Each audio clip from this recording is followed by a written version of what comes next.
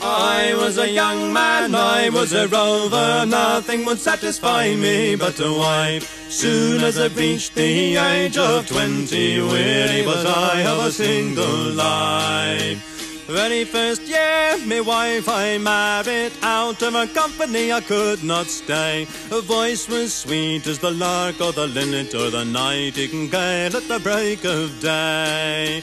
Now she's fairly altered her meaning, now she's fairly changed her tune. Nothing but scolding comes from her mouth, so the poor man's labour's never done.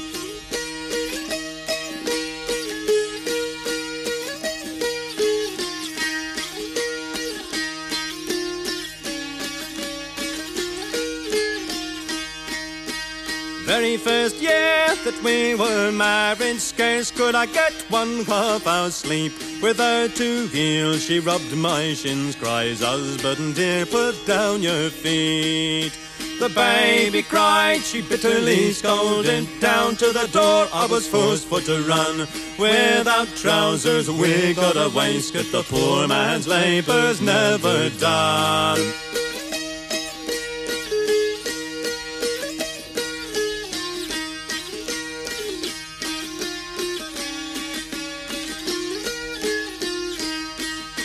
I went up to the top of the hill for to view me sheep that had all gone astray. When I came back, she was lying in her bed at twelve o'clock on a winter's day. When I came back, both wet and weary, weary and wet, now where could I run? She was lying in her bed, the fire up beside her. She says, Young man, is the kettle on?